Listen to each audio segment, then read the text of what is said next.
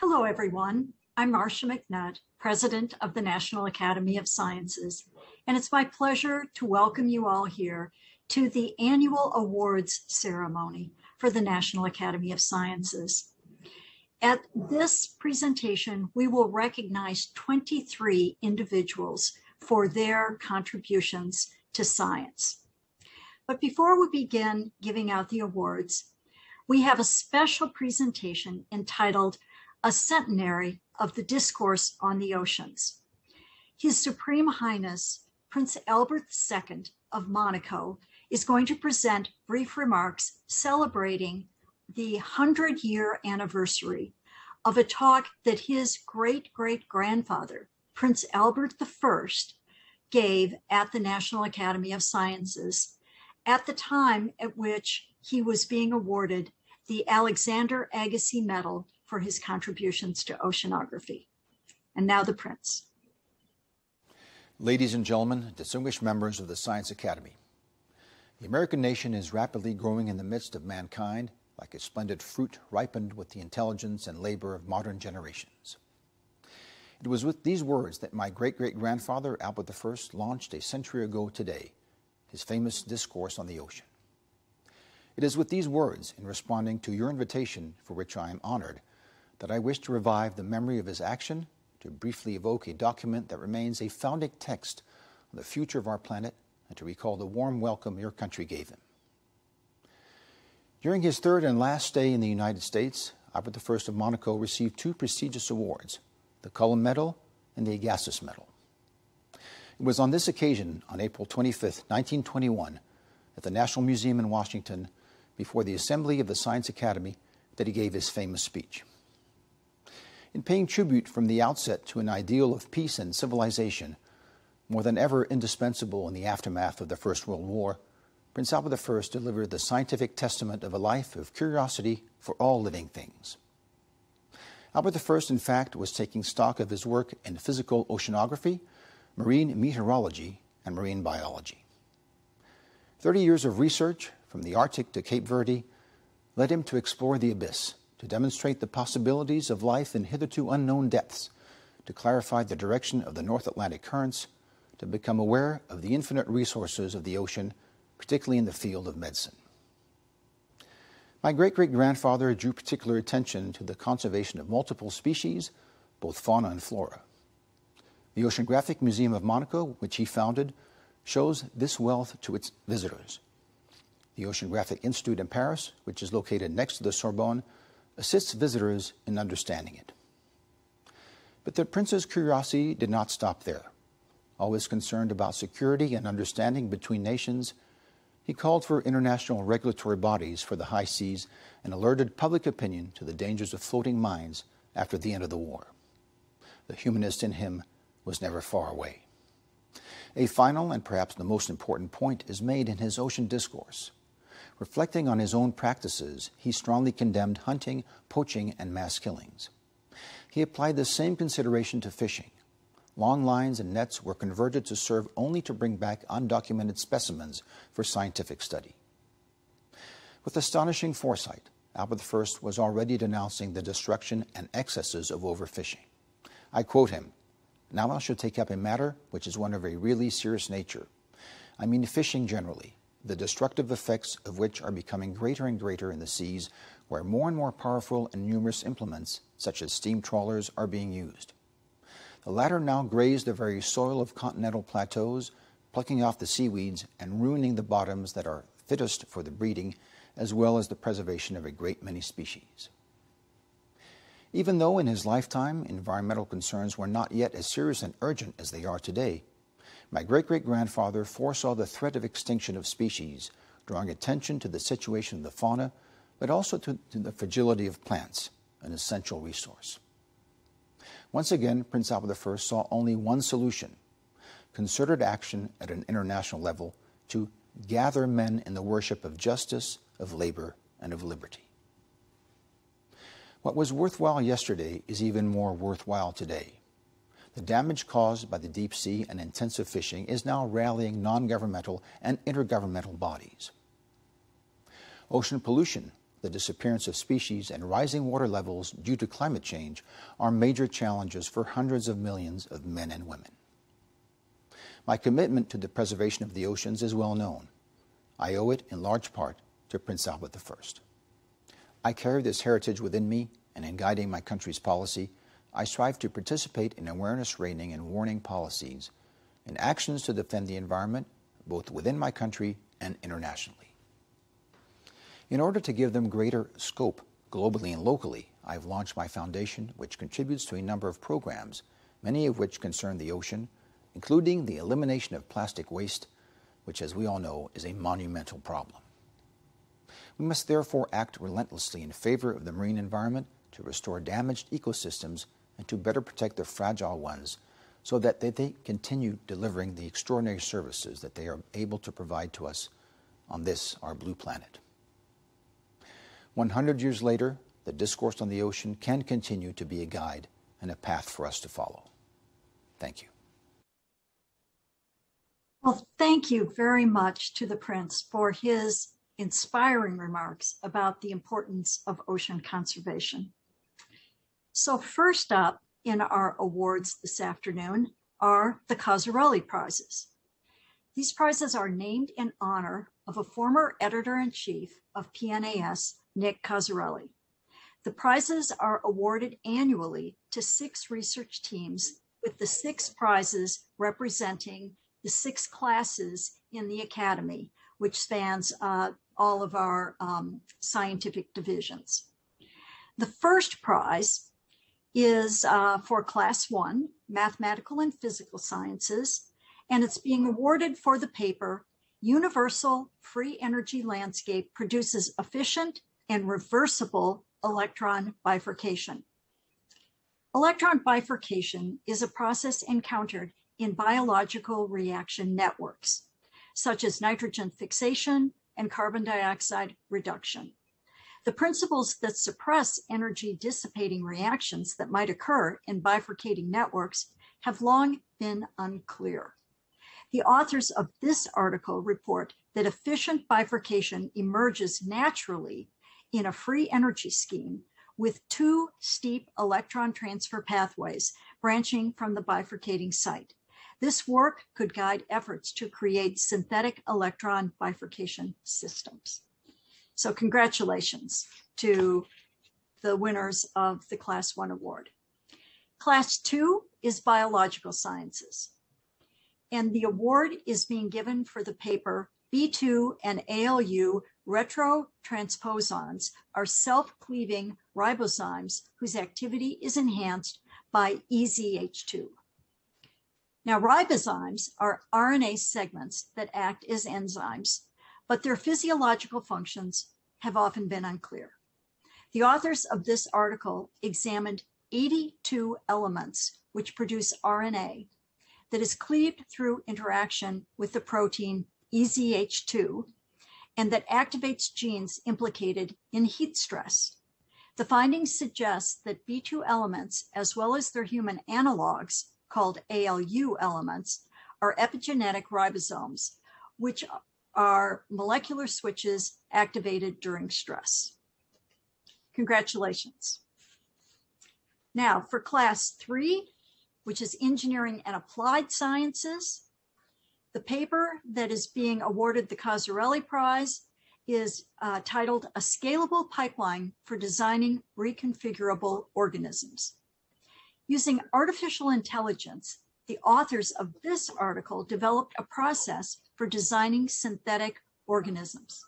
The authors used a cell-based construction kit and stem cells from frogs to create the organisms. They designed and evolved in silico structures capable of locomotion, object manipulation, and object transport. And the fabricated cellular structures emulated the form and function of the in silico designs, suggesting an array of applications from precise drug delivery to environmental remediation. Congratulations. Next is class four, biomedical sciences for the paper HIV-1 uncoats in the nucleus near sites of integration. During infection, the human immu, immune, immunodeficiency virus must disassemble the capsid coat surrounding its viral DNA before incorporating the DNA into the host genome. However, the intracellular locomotion and timing of the viral uncoating have been unclear. In this work, the authors found that viral cores enter the nucleus intact or nearly intact, and that uncoating occurs near the genomic integration site within one and a half hours of integration. The findings provide insight into HIV-1 behavior upon entering the human cell. So congratulations to the winners of the class four prize. Next, class five, behavioral and social sciences. This prize is given for the paper titled Physician-Patient uh, Racial Concordance and Disparities in Birthing Mortality for Newborns. Studies show racial disparities in infant mortality find that Black newborns die at three times the rate of white newborns. The authors of this article examined records of 1.8 million hospital births in Florida and found that when Black newborns received care from Black physicians, the mortality disparity with white newborns was reduced by half. The findings identify the scenarios in which patient physician racial concordance may prove beneficial. So, congratulations. Uh, and last up is class six, um, which is applied biological, agricultural, and environmental sciences. The prize in class six is given for the paper Fast behavioral feedbacks make ecosystems sensitive to pace and not just magnitude of anthropogenic environmental change. Human driven environmental changes can alter animal behavior and species demographics. In this article, the authors use data on the foraging behavior of herbivorous fish in a coral reef, as well as demographic estimates to develop an ecosystem model. The model revealed that the ecosystem was susceptible to the magnitude of changes in fishing pressure, as well as the pace of change. The findings suggest that rapid changes can collapse an ecosystem that would persist under gradual change. So congratulations to the authors of all of these outstanding papers. Now we will present the National Academy of Sciences Awards for 2021. The first is the Arctowski Medal, which is awarded to Dana W. Longcope of Montana State University in Bozeman. This prize is given for fundamental research on the nature of solar magnetism, magnetic topology and reconnection, providing a, a unified framework for understanding the energization and dynamics of quiet sun, active regions, flares, and coronal mass ejections. Thank you. I am profoundly grateful to the National Academy of Sciences and to my colleagues for honoring me with the Arctowski Medal. I thank the Arctowski family for their generosity to space science. Every day, I feel incredibly fortunate to be given the opportunity to engross myself in work I thoroughly enjoy, scientific research and teaching. The only thing more rewarding than unraveling a fresh scientific puzzle is sharing it with my colleagues and my dedicated students. I've benefited immeasurably from the work of the field's pioneers, including Eugene Parker, Jack Harvey, and Jack Gosling, I'm humbled to be added to the list of Arctowski, Arctowski medalists um, along with them. Over my career, I've been supported by and mentored by a number of colleagues. I'd like to single out Eric Priest, Loren Acton, Dick Canfield, George Fisher, Hank Strauss, and Ravi Sudan, who've patiently supported me as I found my way in science. I've also been supported by my wonderful family, especially my wife, Valerie, my father, Christopher, and my mother, Julia. Thank you. Well, thank you, Dana, for those remarks. Uh, the next award that we're pleased to give is the Gilbert Morgan Smith Medal, and it's awarded to Patrick Keeling of the University of British Columbia. And it's being awarded for his leadership in developing, implementing, and promoting ways to assess algal and protista uh, diversity for investigations into the evolution of genomes of algal derived organelles endosymbionts, and parasites in the role of gene transfer. for advances in algal systematics and for deep insights into the biochemical and genetic processes affecting global biogeochemistry.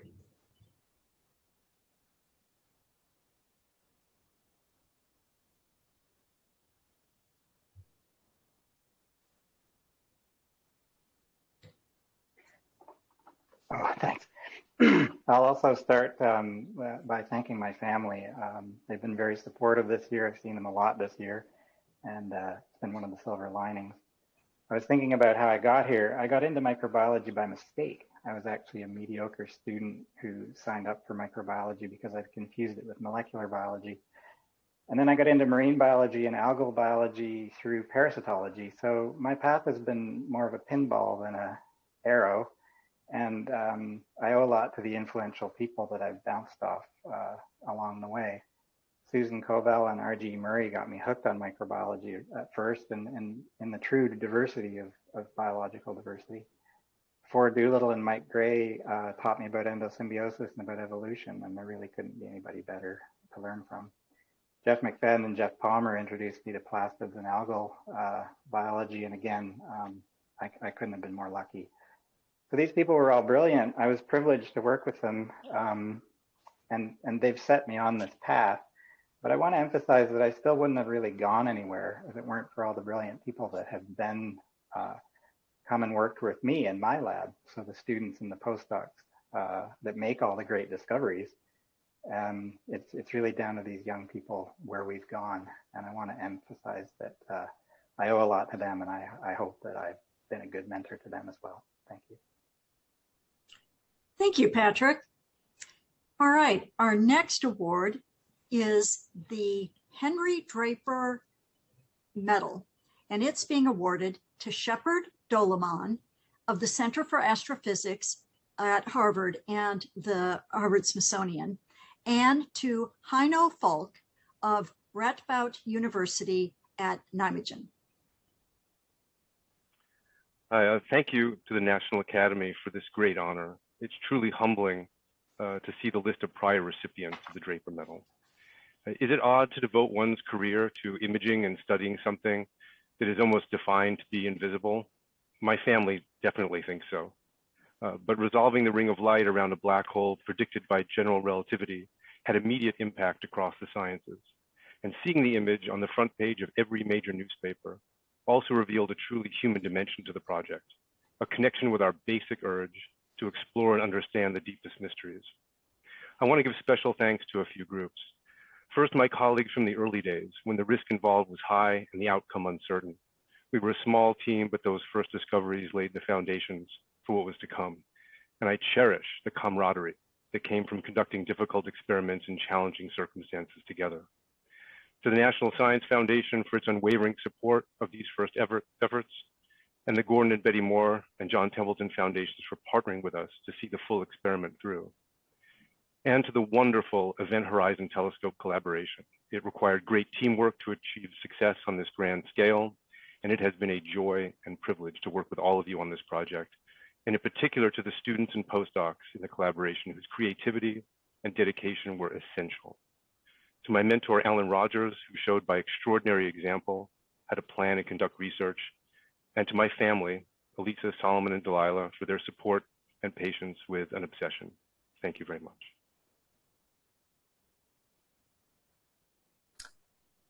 And I want to thank you to National Academy of Science for, for this reward. It's it's really humbling and it's a it's a great honor and it means a lot to me.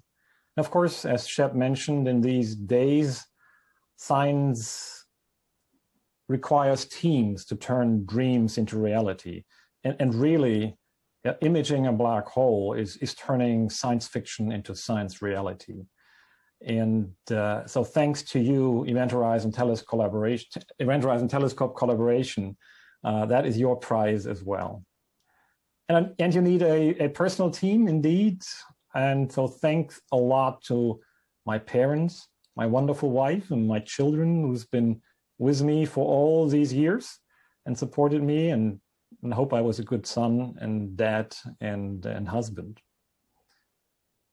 And of course, I think we stand on the shoulders of giants, as Shep mentioned. I mean, we have all these medalists before us, In fact, the last Dutch scientist to get this uh, reward was Henk van de Hulst, who was thinking of or predicting that uh, cosmic hydrogen would emit radio emission. And that was later discovered, and it was used to map out the structure of our Milky Way and determine our place in this universe, literally. And he made that discovery and this, this idea he had while he was sitting, hiding in a Dutch observatory during Nazi Germany occupation. And when I had this idea of, you know, thinking about this dream about imaging a black hole, I was sitting freely in the German Max Planck Institute. I was moving to the Netherlands. I was welcomed there at a wonderful university. Thank you, Radboud, for welcoming welcoming me there. And we worked with an international team together in a global collaboration. And so I think we should you know, remind ourselves how what a privilege it is to live in a free and uh, peaceful world, at least for us, and to do science. And let's make sure we keep it that way. So my apologies to Shep and Heino. I was supposed to be the person that said what you were getting the medal for. Fortunately, this is a kind of contribution that doesn't need to be explained to anyone since it was uh, on the cover of the New York Times. But basically, this is for their leadership of the ETH collab collaboration that led to the imaging and uh, providing yet another validation of Einstein's general theory of relativity. So next up is the J. Lawrence Smith Medal. This is being awarded to Meenakshi Wadhwa of Arizona State University for her major contributions to some of the most important problems in cosmochemistry. Her refinement of the uranium lead dating method has led to improved age determinations of meteorites and an enhanced understanding of the solar system history. Her use of other isotopes has revealed the timing of early solar system events. Thank you, President McNutt. Thanks to the Academy for this incredible honor and to my colleagues who nominated me. I'm really humbled when I think of those who were awarded this medal before me. Um, in acknowledgement of the great role that mentorship has played in my professional, scientific, and personal life, I'd like to dedicate this honor to my mentors and to my mentees. Among my mentors, I want to particularly mention Ghislaine Crozaz, Robert Walker, Ernst Zinner, and Günter Lugmair. Bob Walker and Ernst Zinner are both former awardees of the J. Lawrence Smith Medal, which makes this rec recognition all the more meaningful to me. I'm fortunate to have worked with some amazing students and postdoctoral researchers, one of whom was among those who nominated me. It's my mentees who've kept me inspired and motivated over the years, and they continue to do so.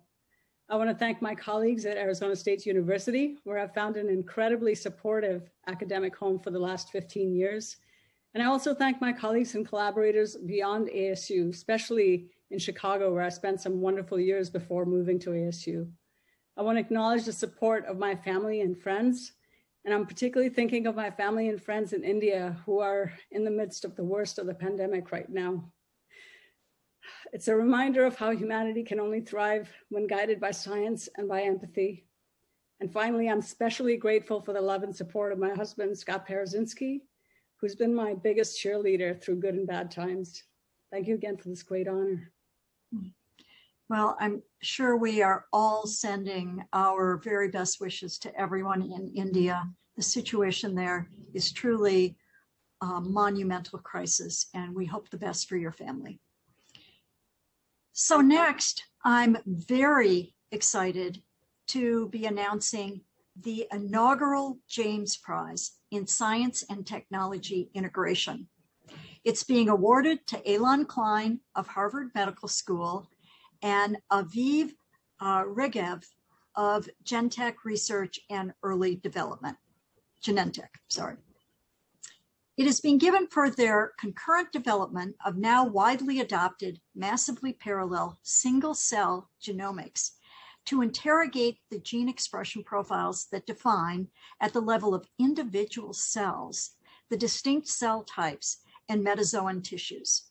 Their development in trajectories and disease states, which integrate tools from molecular biology, engineering, statistics, and computer science, all required to solve this problem. First, we will hear from Dr. Klein, followed by Dr. Regev.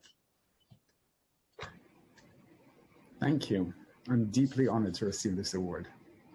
This prize celebrates integration of disciplines across science and technology, and I hope that with this prize, Aviv Regev and I can represent a community of scientists that have done so, specifically building tools to carry out genome-wide single-cell measurements and finding applications for those tools. We now appreciate that diseases such as cancer and infectious diseases can be dissected by holistically analyzing single cells, and this is also true for studying how tissues develop and regenerate.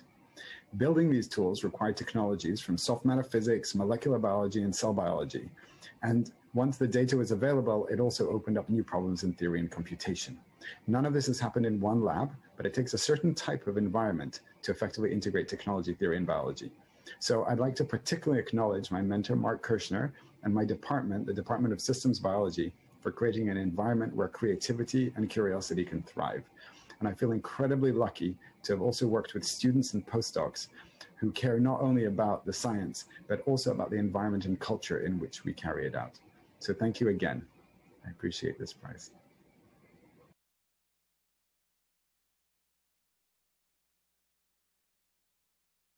technology integration together with Allon Klein, and I thank the prize committee and Robert James for his generosity in establishing this prize, and also my family for their unwavering support through many adventures. As Allon said, many prizes focus on discoveries within one field, but this one recognizes that single cell genomics is a new area of biology that was only possible at the intersection of multiple disciplines. We needed biology and math and computation together to lay the scientific motivation and theoretical foundation and data analytics, and engineering made the experiments possible at the scale that was needed to yield deep biological insights. Now, recently, a colleague shared with me this quote from Proust The real voyage of discovery consists not in seeking new landscape, but in having new eyes. And for me, that's not just an apt description of the new eyes that single cell genomics has given us for old problems in biology and medicine, but also the many new eyes that were needed in order to make it happen. So I'm especially grateful to the many people with diverse perspectives and expertise who've contributed to making single cell genomics a reality, including, including lab members at MIT and the Broad, many, many collaborators, and the entire international community. It's a thrill to see interdisciplinary research recognized, and I look forward to all the achievements that this prize will recognize in the future.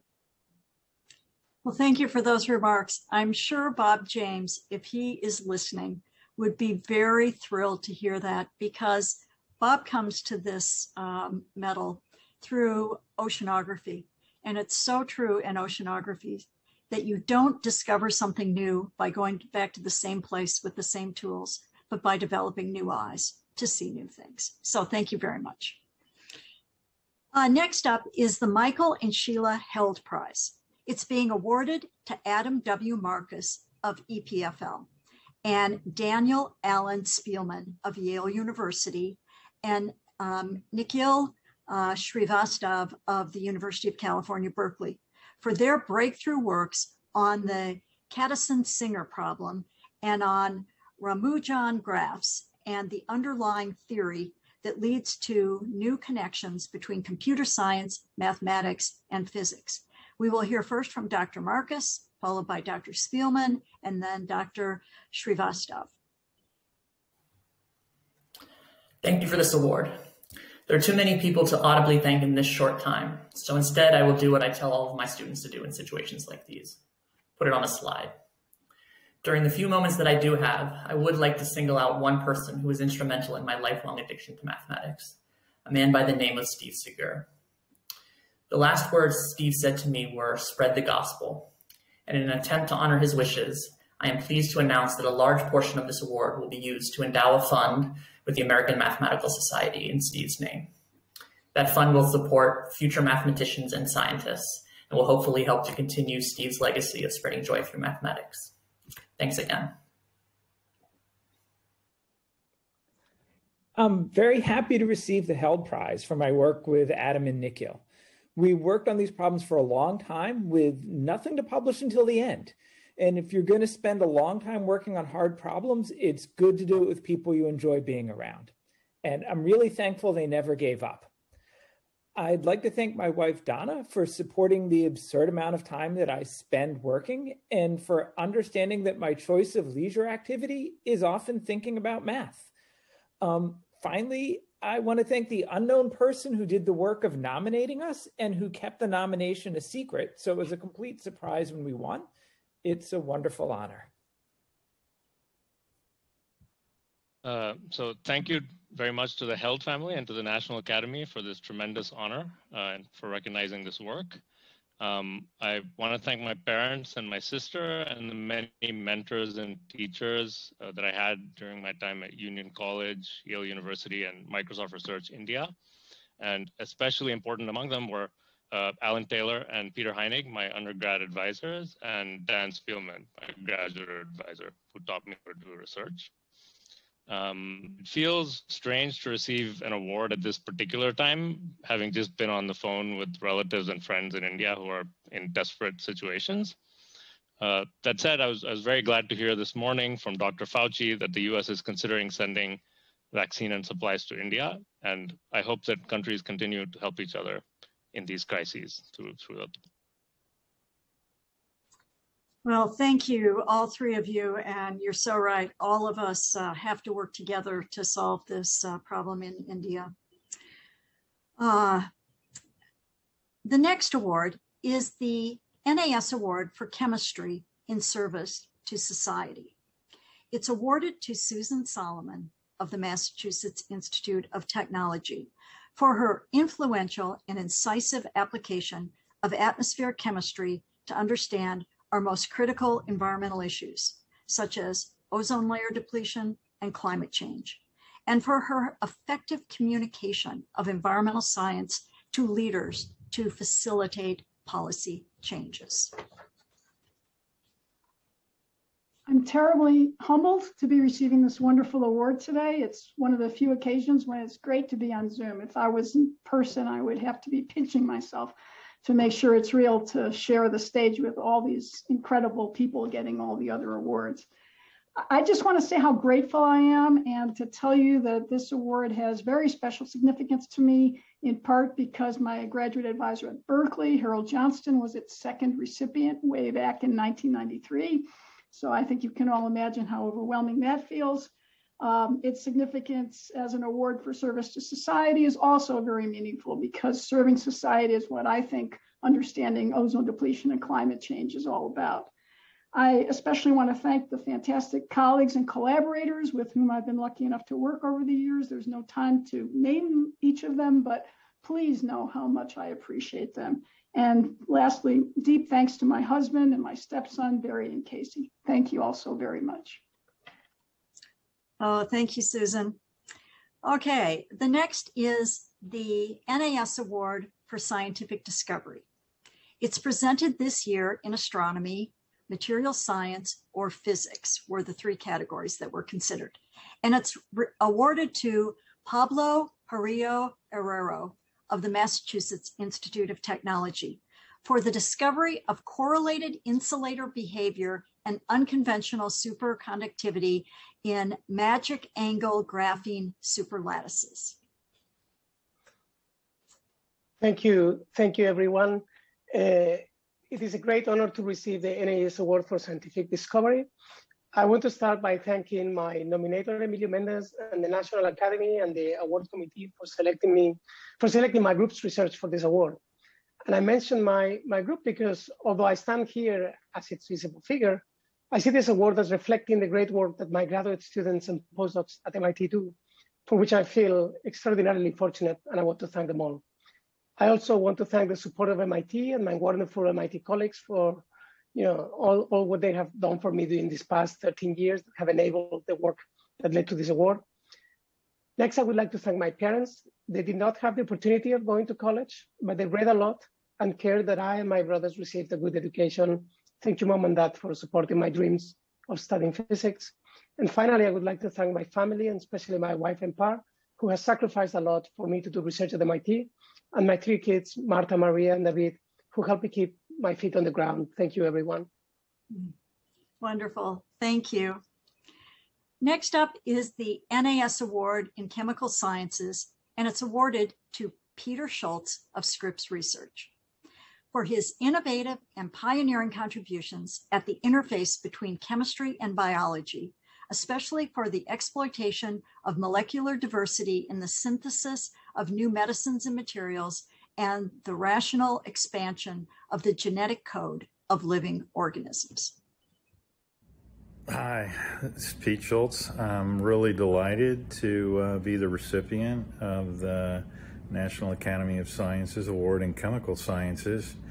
Uh, it's a terrific tribute to uh, the accomplishments and all the hard work and talent of all of my current and past co-workers, graduate students, postdocs, colleagues, and collaborators.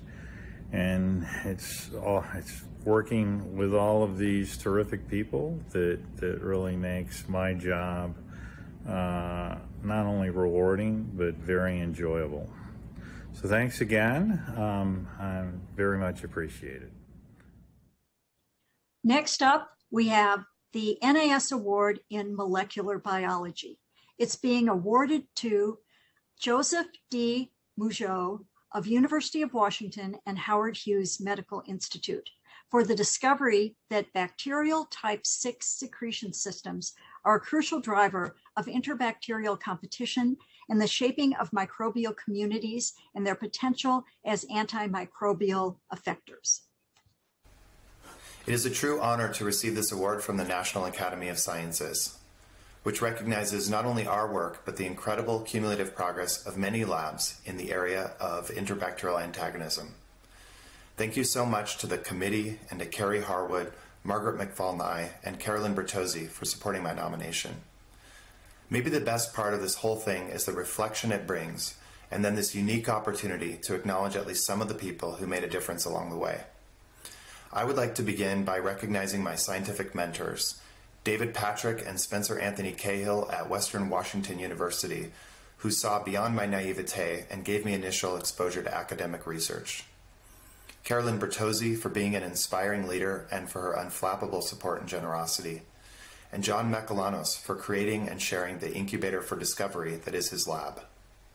I am so grateful to the talented and dedicated scientists that have been through my lab over the years, to our network of wonderful collaborators, and to my colleagues at the University of Washington. I need to single out Brook Peterson and Simon Dove, two long-standing colleagues who I all but share a brain with scientifically. On a personal level, I would of course like to thank my family, in particular my wife Malike, for her support and grounding over the years. And I would like to extend my deepest possible gratitude to my parents for sacrificing to give me op opportunities they never had. Finally, I want to dedicate this award to my father, who passed away this year. He instilled in me a fascination for the natural world, the importance of education, and the idea that with grit you can go anywhere in life. Thank you. Thank you. And now we have the NAS Award in the Evolution of Earth and Life, also known as the Mary Clark Thompson Medal. It's being awarded to Shuhai Xiao of Virginia Tech for his integrated geological, geochemical, and paleontological research on the evolution and radiation of eukaryotes of algae and of animals in the Ediacaran and Cambrian periods. His leadership and his construction of a scientific and cultural bridge between China and the United States that has greatly benefited both societies. Hello from Blacksburg, Virginia. I would like to thank the National Academy of Sciences for this much appreciated honor. I'm deeply humbled by this recognition, and I have many people to thank. But first and foremost, I would like to thank my mentors in the US and China, my collaborators around the world, my students, postdocs, and colleagues at Virginia Tech, and my family for their guidance and support over many years in the laboratory and in the field, and in my professional and personal life. I would also like to thank many previous recipients of this award for their inspiration and in particular, I would like to mention the 1936 recipient, Amadeus William Grabau, an American geologist who helped found the geology department at Beijing University, where I received my undergraduate training in geological sciences, as well as the 2012 recipient, Andrew Knoll, who guided my PhD study at Harvard University in the 1990s. I'm extremely excited to continue my research to explore the past and to inform the future of our planetary home, the Earth. Thank you very much, and please stay safe. Thank you, Shuhai. The next up is the NAS Prize in Food and Agricultural Sciences.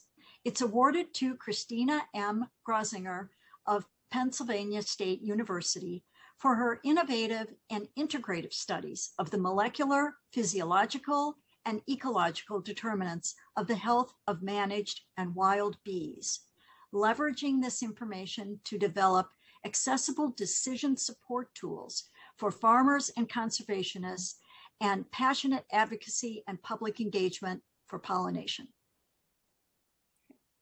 Thank you. It is such an honor to be part of this group of outstanding scientists. When I was finishing my graduate studies in chemical biology, my brother started keeping honeybees and told me amazing stories about their behavior. At the time, new molecular tools were becoming available for non model systems, so I realized it was the perfect time to study so, honeybee sociogenomics. This was a dramatic switch in research focus, and so I was very grateful when Gene Robinson accepted me into his group as a Beckman Institute Fellow now 20 years ago. Since that time, the threats to pollinators have become very clear. With the support of a worldwide network of collaborators, my program has expanded to address these challenges through integrative studies of bee immunology, toxicology, and nutrition.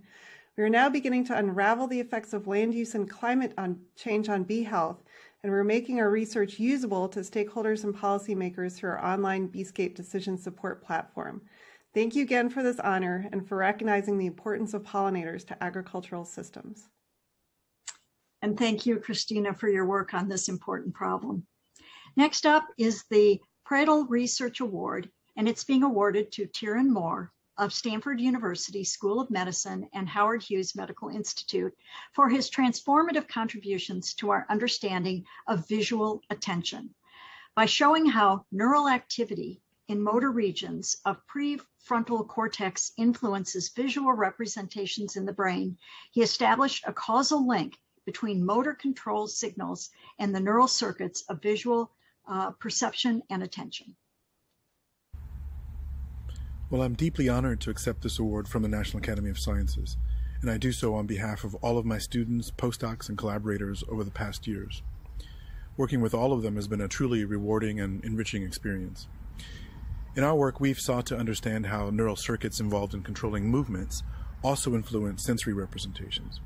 And this work has taught us a great deal about the neural mechanisms that underlie fundamental cognitive functions, such as visual attention. And this insight is proving to be key in the continuing quest to understand the basis of disorders of cognition, such as ADHD. I'd like to also thank Stanford University and HHMI, as well as the NIH for their continued support of our work over many years. And finally, I'd like to thank the National Academy, my nominators, and the selection committee for this honor. Thank you. Thank you. Next, we have the Richard Lounsbury Award. It's being awarded to Feng Zhang of the Howard Hughes Medical Institute, the Broad Institute of MIT and Harvard, and the McGovern Institute for Brain Research. It's being awarded for his pioneering achievements in the field of genome editing, including the discovery of novel CRISPR systems and their development as molecular tools. It's a wonderful honor to receive the Lounsbury Award.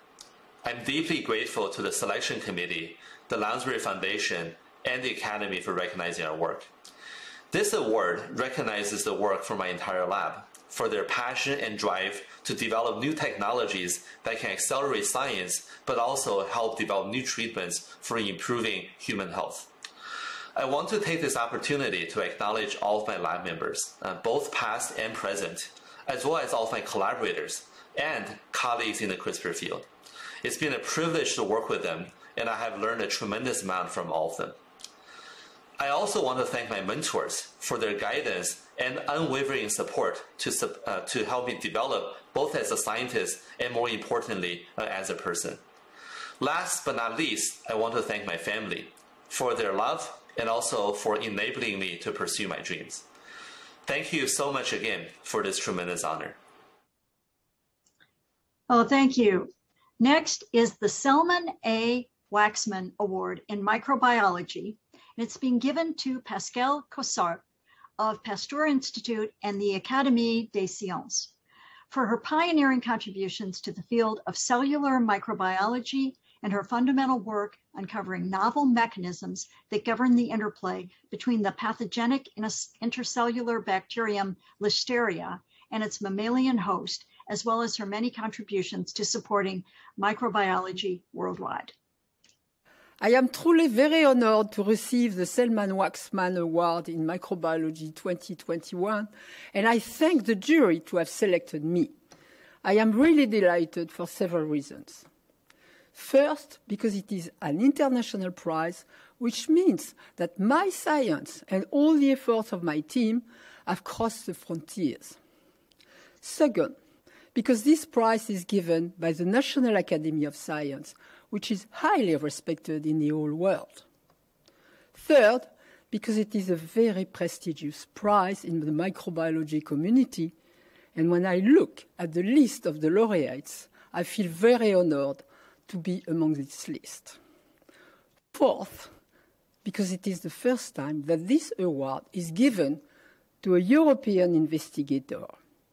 I am thus proud for my team, for the Pasteur Institute, where I started my career when I came back from the States, from Georgetown University, where I had finished my Master of Science. So thank you very much. Merci beaucoup. Yeah. Durian, Durian, Pascal. Okay, next we have two Troland Research Awards. They will be, um, the first uh, is going to Michael J. Frank of Carney Institute for Brain Sciences at Brown University for his seminal theoretical and experimental studies that have shaped our understanding of learning, valuation, and cognitive control in humans and in other animals. Thank you to the Academy, the prize committee, and my nominators for this incredible honor. I'm not the first Michael Frank to receive this award, so I also thank my namesake for this bleed over and credit assignment. I thank Randy O'Reilly, my PhD mentor, who taught me to pursue computational approaches to brain science and to understanding the mind without overly fetishizing the mathematics. I thank my colleagues at Brown University and the University of Arizona before that for their unwavering support.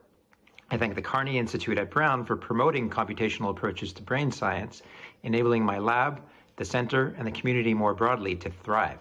I have to thank my long-term collaborators, David Badre, Jim Gold, Roshan Cools, and many, many others, as well as my current and former mentees, who all continually prove to me how much science is really a team sport. Most importantly, I thank my wife, Masha, my kids, Kaya and Noah, my parents, and the entire Frank machine for always showing me what really matters. Thanks again, and stay safe. Thank you. Now we've got the second Troland Research Award. It's being given to Nicole Rust of the University of Pennsylvania for her fundamental contributions to our understanding of the mechanisms by which the cortex makes use of complex visual information to guide intelligent behavior. So let me just begin by thanking the National Academy and the selection committee for this recognition. I'm absolutely honored and flattered to join the list of so many remarkable individuals who have received this award before me.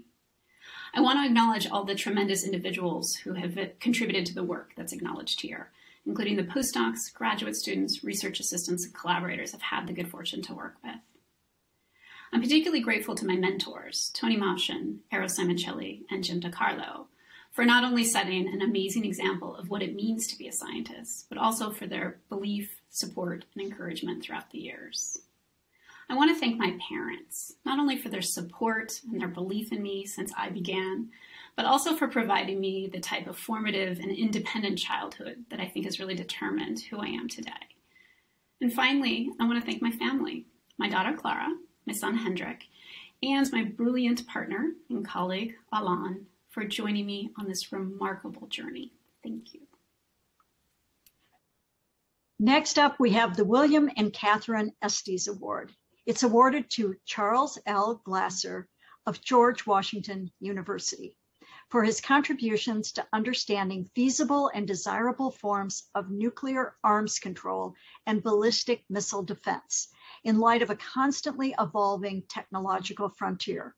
Glaser's work has been influential for its combination of theoretical rigor with a strong appreciation for the technical aspects of nuclear weapons policy. Hello. I would like to thank the National Academy for recognizing my research on U.S. nuclear weapons policy.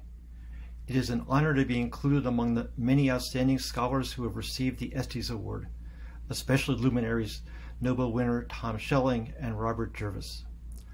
Over the four decades that I've studied nuclear weapons, the world has changed dramatically. During the Cold War, nuclear weapons defined the relationship between the United States and the Soviet Union, and the fear of nuclear war was ever present. With the end of the Cold War, nuclear weapons receded into the background of international politics. But now, with China's rise and Russia's resurgence, nuclear weapons are once again coming to the top of the international policy agenda. In addition, technology has changed dramatically over these decades and has created new opportunities and also new dangers, many of which will have to be handled in future decades. So far, the world has avoided nuclear war, Academics like to think that we deserve a little bit of credit for this, although we're not really sure. Thank you.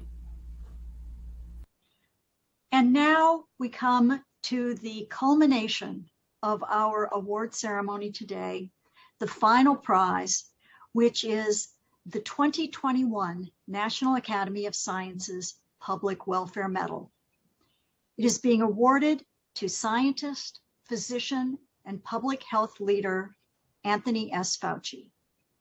Dr. Fauci's career as a public servant spans more than four decades, and he has advised seven different US presidents, including the current president, Joe Biden. The director of the National Institute of Allergy and Infectious Diseases at the National Institute of Health, Fauci has played a key role in shaping the federal government's response to the COVID 19 pandemic and while leading his uh, institute, he sponsored research efforts to better understand and prevent and treat COVID 19. The Public Welfare Medal was established in 1914 and is the most prestigious award of the National Academy of Sciences. It's presented annually by the Council of the Academy in recognition of distinguished contributions in the application of science for public welfare. Dr. Fauci is being honored for his decades long leadership in combating emerging infectious diseases from the AIDS crisis to the COVID 19 pandemic and for being a clear, consistent, and trusted voice in public health. Despite a heavy workload, he continues to promote and reinforce critical public health guidance through numerous media appearances He's always clear and compelling as he informs the public based on the best available science and evidence, all while directing the NIAID research enterprise, treating patients and conducting research in his own laboratory. Throughout his long and distinguished career, his leadership and ingenuity during public health emergencies has saved countless lives here in the US and around the world. Long became, before he became a household name for his work on the COVID 19 pandemic. Fauci was a pioneer in the prevention, diagnosis, and treatment of infectious diseases, helping to steer the nation and the world through many crises, including HIV AIDS, Ebola, the swine flu, and Zika. Fauci was also the principal architect of the President's Emergency Plan for AIDS Relief, PEPFAR, a life-saving global program that has accelerated progress towards controlling the HIV AIDS epidemic in more than 50 countries. In recognition of his leadership in PEPFAR, President George W. Bush awarded him the Medal of Freedom, the nation's highest civilian honor. Fauci also contributed to the establishment of the U.S. President's Malaria Initiative in 2005, a program that has greatly reduced the burden of this disease in Africa and in Asia. Dr. Fauci has received 45 honorary doctorate degrees from universities in the United States and abroad, and is the author, co author, or editor of more than 1,300 scientific publications. He is a member of the National Academy of Sciences, the National Academy of Medicine, the American Academy of Arts and Sciences, as well as other professional societies. In addition to the Presidential Medal of Freedom, Fauci has received numerous other awards and honors, including a recipient of the National Medal of Science, the Mary Woodard Lasker Award for Public Service, and the Canadian Gairdner Global Health Award. Most recently, Dr. Fauci's name has transcended being the identity of an individual to becoming the shorthand for honesty, integrity, forthright speaking, and dedication to mission. Earlier today, Francis Collins talked about the Fauci effect, that many more applicants want to go to medical school because they see, understand, and want to emulate Dr. Fauci. Gina McCarthy, Thank you, former Dr. McNutt. I am EPA truly honored. administrator. Sorry.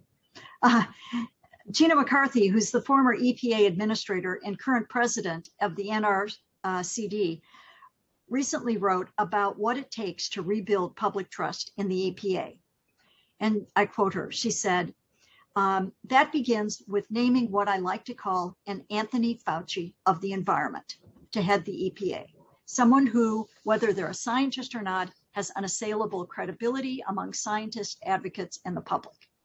On that basis, if the Fauci is the official unit to measure scientific credibility, I aspire one day to have my own contributions measured in milli Fauci's.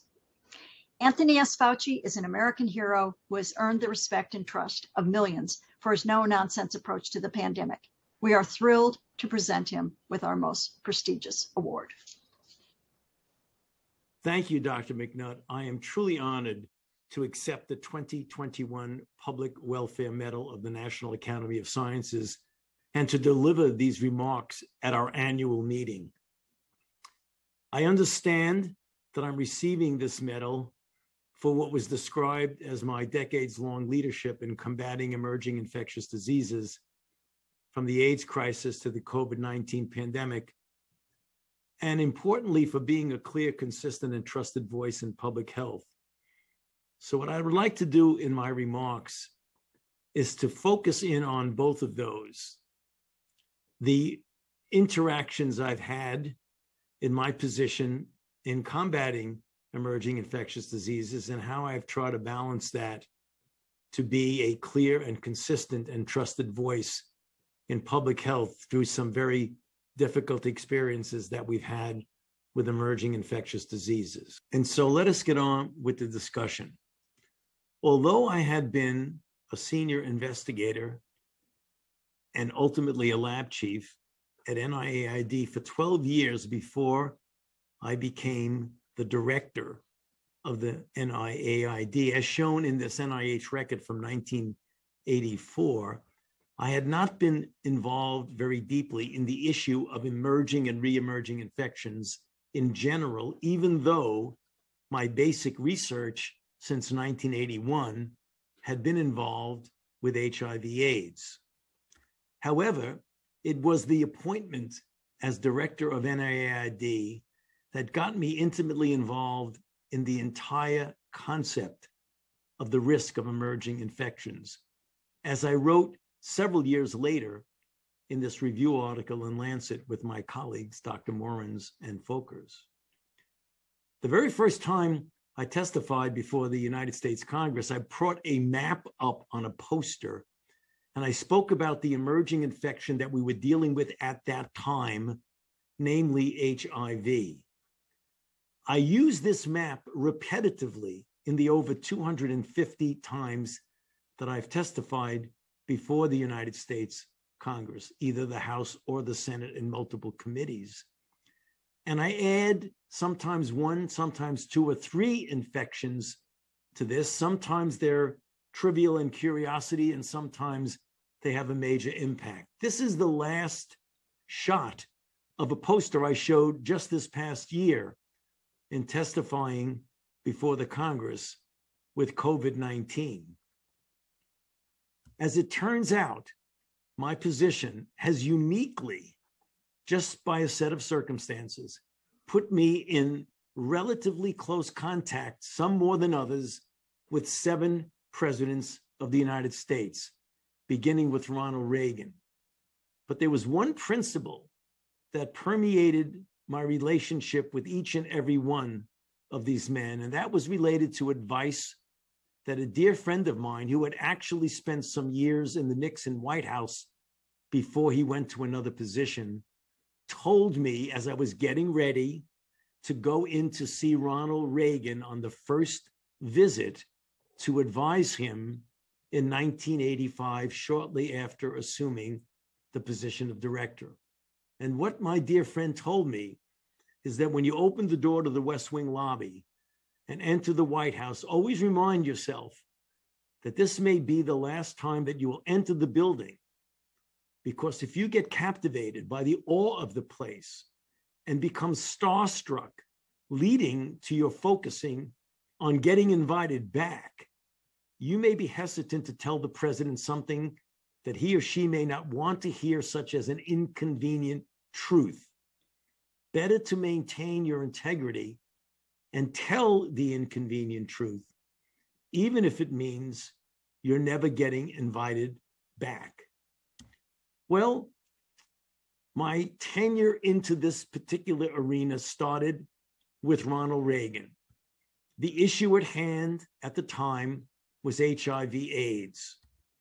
We know in 1981, just months after his inauguration, these two MMWRs signaled the beginning of what was going to be a historic global pandemic. I felt that we did not put enough emphasis on using the president's bully pulpit to call attention to this emerging plague. And I actually explicitly mentioned to the president that it would be important that he speak about that. He did not respond in a negative way. And so I told him an inconvenient truth, but there were no negative consequences, at least not from him. But the activist community got up in arms and made this a very difficult situation. Actually, for me also, because I was associated with the federal government. An example of speaking truth to the president but him not reacting in a negative way, even though it would have been really, I think, important from a public health standpoint had he listened. Next came George H.W. Bush, who I developed a very interesting and long lasting until his death friendship. He took AIDS in a different perspective than Ronald Reagan.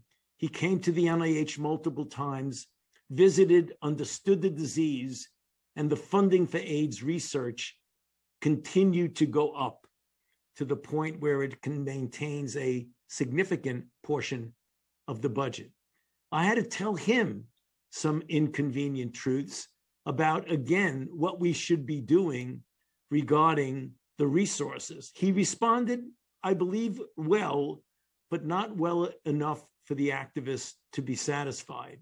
Nonetheless, our relationship grew and the advances in science that began there have now transformed this disease with some of the most elegant science, particularly in the arena of treatment, which has transformed the lives of persons living with HIV. My next interaction was that was with William J. Clinton, Bill Clinton. Again, there was HIV AIDS permeated, but we had another a group of emerging infectious diseases. There really was never any situation where there was a conflict there. And the only, quote, inconvenient truth that I told him, which was not really anything very serious from the standpoint of a pushback, was that we absolutely needed more resources, which in fact he, together with the Congress, gave us. But one truth I did tell him that he responded in a very positive way was in a visit to the White House in December of 1996. And here I am with Harold Varmus explaining some of the recent advances in the pathogenesis of HIV. He asked me why 15 years later, from the beginning, we did not see or have a vaccine for HIV. And it turned out, I told him we needed a vaccine research center because we needed to bring people together working and synergizing on the same project. I would have thought he may have said that it was a little bit inappropriate for me to be asking him that in the Oval Office, but as it turns out, to our great pleasure and surprise, five months later, he announced that there was going to be a vaccine research center at the NIH.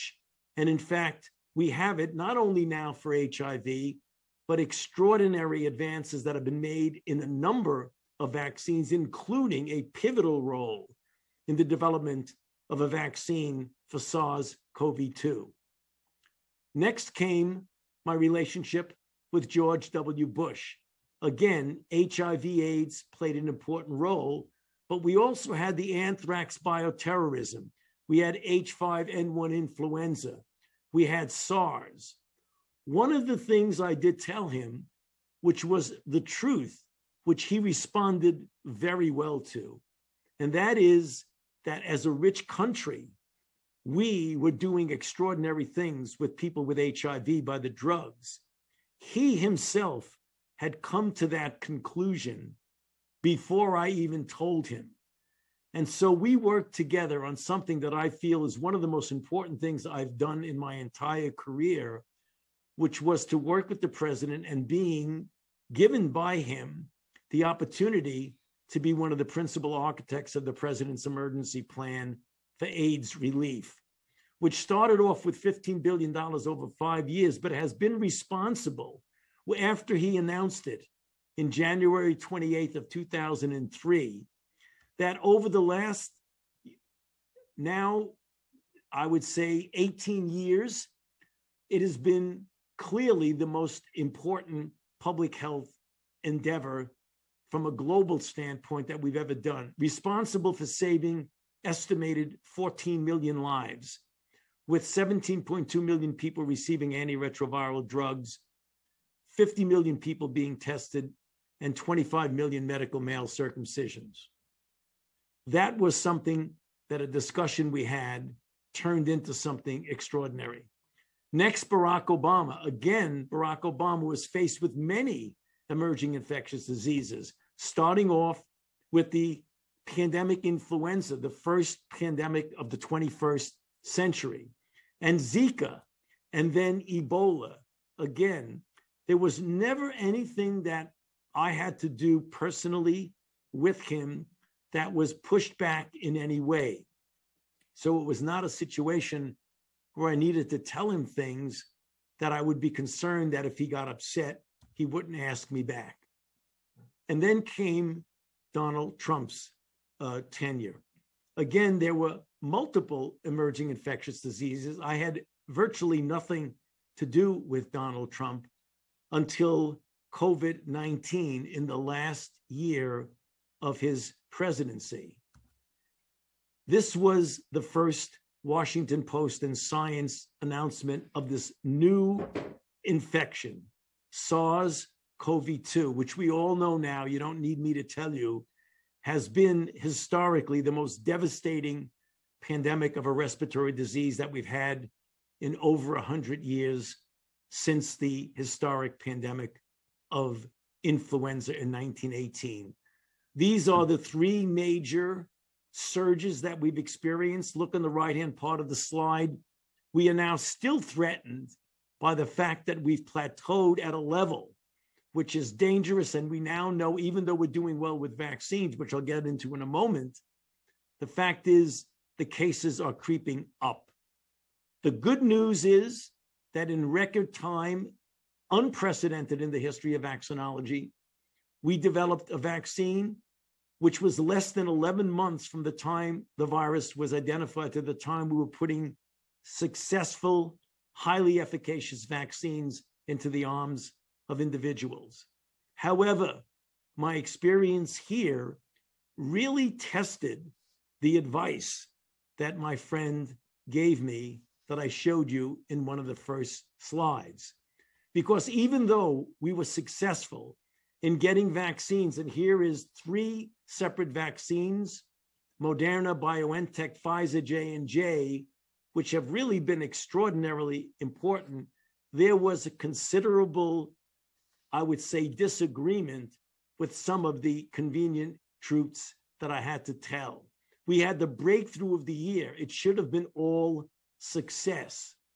But as it turned out, it wasn't because there was the conflict that became very, very public, as shown here on some of the news that was reported. Fauci throws cold water on Trump's declaration that malaria drug chloroquine is a game changer. I took no great pleasure in doing that, but it was very important for me to be public about that, even though it directly conflicted the president. I had to disagree with him when he said we were turning the corner when I knew that we were actually going to surge. And things got really testy when he made statements like, people are tired of hearing him and all of those idiots on coronavirus. And then finally, towards the end of that year, the threatened to actually fired me.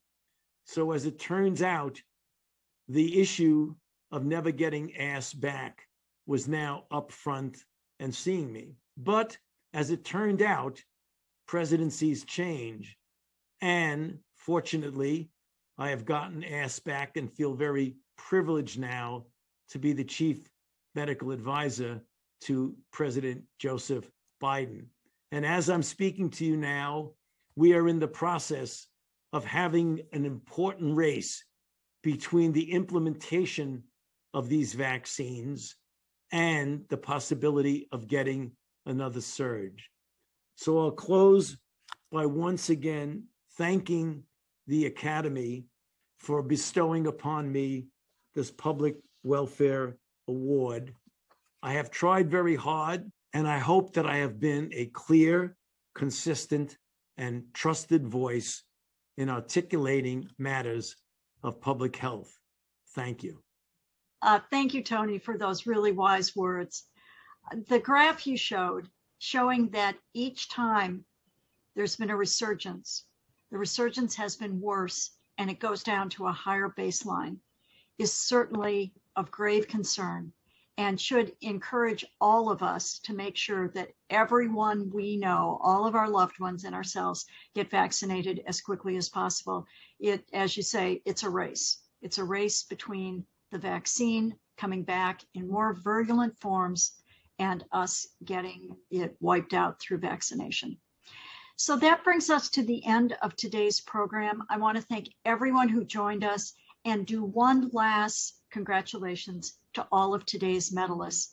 One thing um, I will say is that normally we would be uh, excusing ourselves from the auditorium to all go toast you and have uh, wonderful uh, appetizers, which we unfortunately can't do, but we're hoping to invite you all back next time we can meet in person so we can give you all the toasts that you deserve.